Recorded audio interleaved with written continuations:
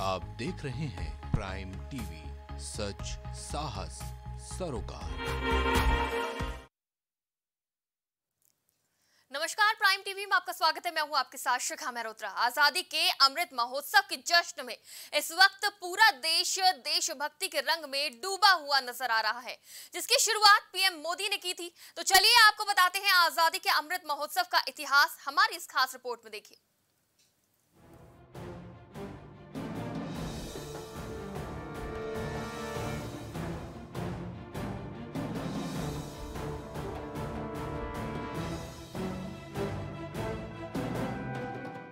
साल 2022 हमारे देश के लिए बेहद खास है, क्योंकि इस साल 15 अगस्त 2022 को हमारे देश को आज़ाद हुए 75 साल पूरे हो जाएँगे, जिसको देखते हुए आज़ादी का अमृत महोत्सव पर भारत सरकार, राज्य सरकारों और केंद्र शासित प्रदेशों के सांस्कृतिक एवं पर्यटन मंत्रियों का सम्मेलन, अमृत समागम 12 और 13 अप्रैल को नई दिल्ली में आयोजित हुआ।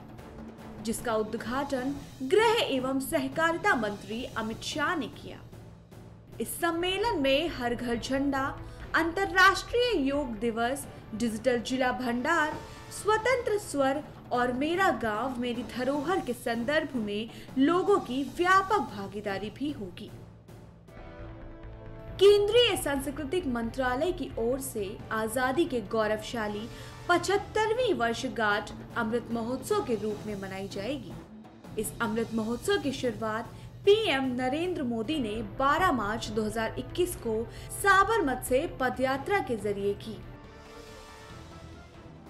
ये वही दिन है जब देश की आज़ादी के लिए बापू ने दांडी यात्रा की शुरुआत की थी। इस महोत्सव में देश का हर नागरिक बढ़ चढ़ कर हिस्सा लेता है।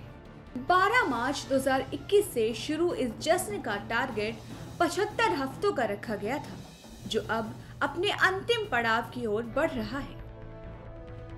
देश की आज़ादी की कीमत तो वही बता सकता है जिन्होंने अपने को खोया है, या फिर जो कड़कड़ाती ठंड, भीषण गर्मी और त्योहारों को छोड़कर बॉर्डर पर तैनात रहते हुए देश की सेवा करते हैं।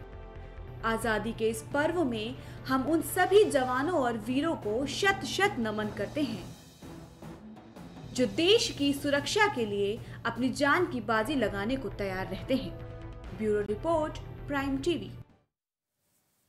तो आज़ादी का अमृत महोत्सव देश में मनाया जा रहा है और इस बार यानी कि 15 अगस्त 2022 को 75 साल पूरे हो जाएँगे और 76 साल शुरू हो जाएगा।